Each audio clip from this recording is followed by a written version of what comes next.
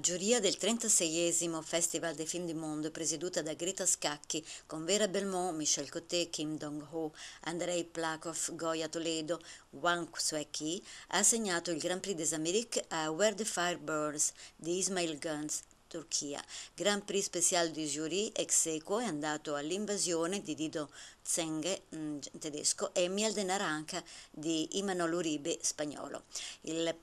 premio per la migliore regia è andato a The Last Sentence dello svedese Ian Troll, mentre la migliore interpretazione femminile è a Brigitte Hommeyer per il film eh, Closed Season di Franziska Schlöterer e il premio per la migliore interpretazione maschile a Karl Merkatz per il film Coming of Age di Sabine Helber e Gerard Hert, ambedue austriaci.